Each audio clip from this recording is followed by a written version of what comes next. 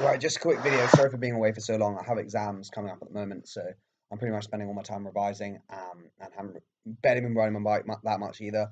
Um, so video is sort of bottom of my priority, but that will change in about three weeks when I finish uni for the summer and I'll be able to make loads of videos and ride full time. So anyway, I hit my big goal for the year, um, 350 watts for 20 minutes. And like to be fair, I didn't really think it was possible at all. I thought, you know, I get 345. Thought I'd get that, you know.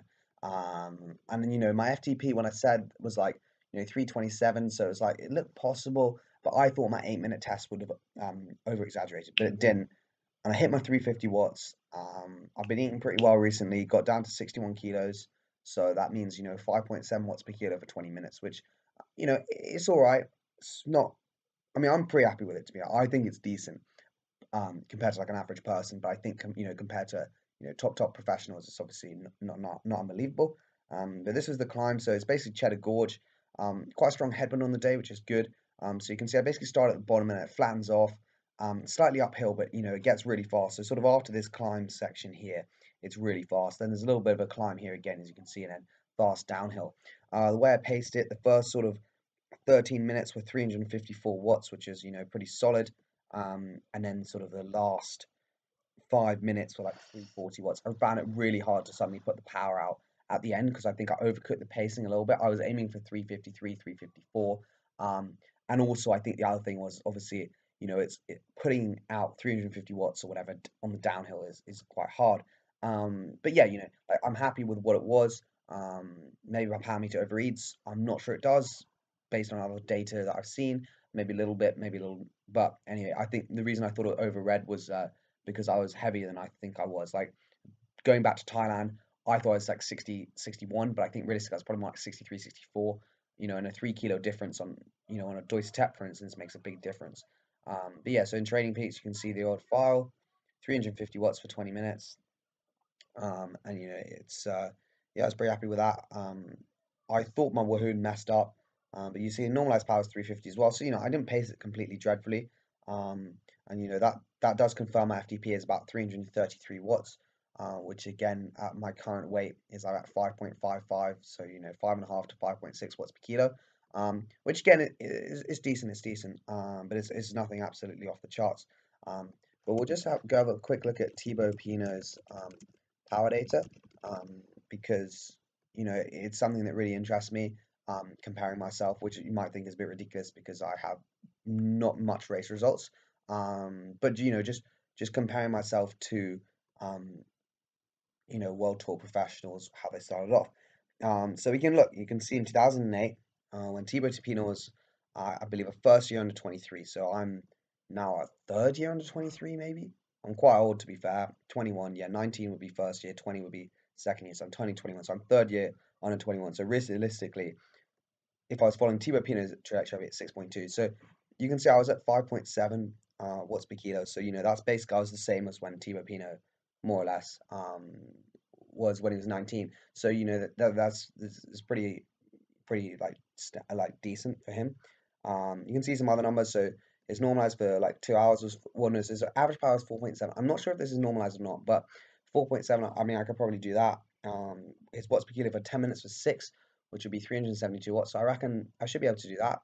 Um, and then five minutes is 6.4 and I, have done 400 watts um, at 61 kilos before. I'm going to do a five minute test. Um, so that's 6.6 watts per kilo. So I think you can see that like I'm probably a bit more punchy than Pinot was back then. Um, but yeah, so I, I, think hopefully I should be able to get that up to closer to 7 watts per kilo.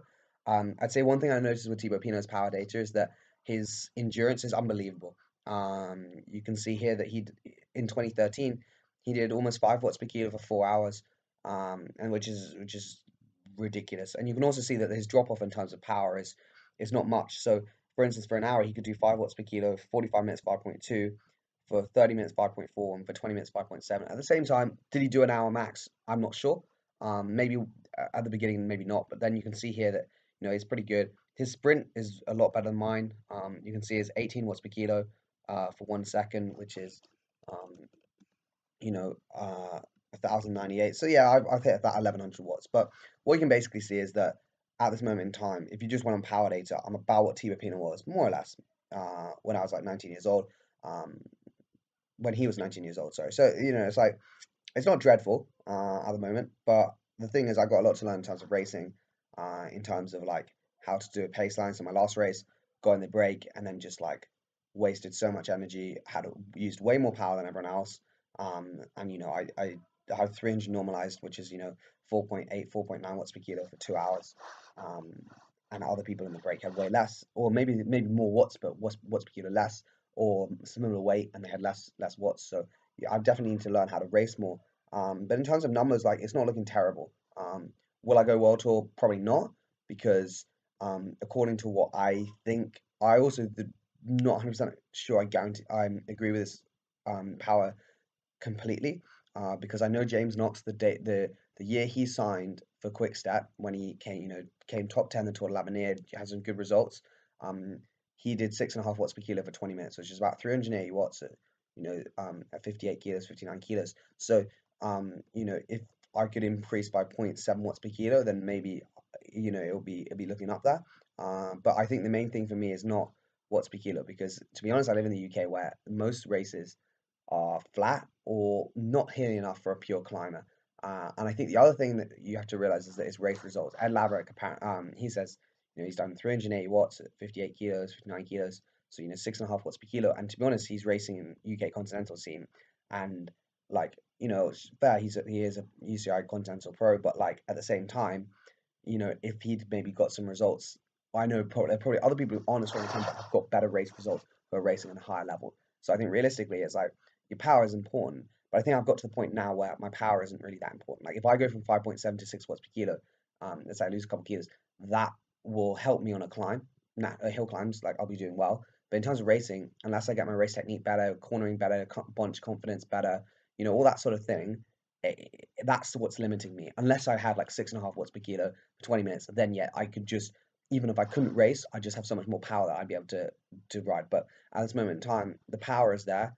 Um, and like you know 330 watt FTP like it's not it's not bad like as in I'd say in an average race you know you you'd be you know decent um but it's just how you use that um so yeah I think and also what races you do like for sure if I race in Italy or or France where they have maybe more 20 minute half an hour climbs then yeah obviously that would help me a lot more instead of the UK where there's shorter climbs but having said that you can still be light like Max Stedman's like 52 kilos and gets around tour series um races and other stuff so again, that's also to do how you ride. Um, but yeah, and I think the other thing that I'm gonna have different to Thibaut Pinot is the hours on the bike. I physically can't do um, the number of hours that he does on his bike. So he does 500 hours in a year. I mean, like, I'm, I'm not sure I'll be able to do that. Like the number of kilometers maybe this year I could do, but I can't do 20,000 k's a year. I, I, I don't I can't do that because I, am like I go to university. You know, I, like I'm not full time. Well, he is, and, and so I think that's also another thing that obviously like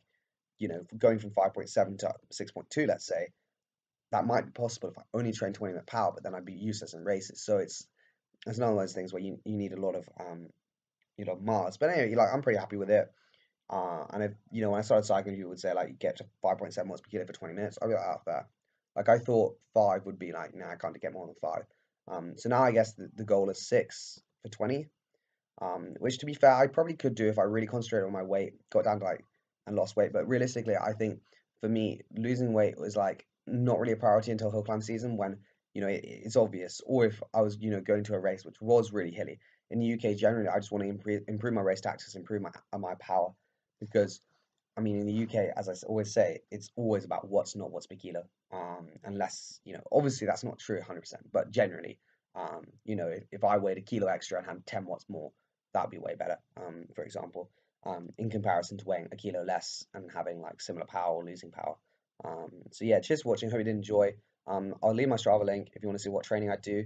Um, I might make another video on that, but you know, generally it's just threshold, um, threshold stuff, races, and VO2 max stuff. Um, and yeah, that's it.